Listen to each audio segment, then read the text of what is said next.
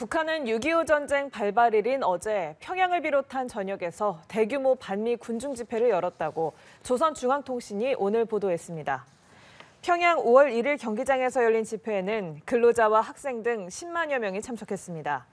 집회 연설자들은 전쟁 억제력을 100배, 1000배로 다지며 전민 항전 준비에 만전을 기해 나가자고 말했습니다.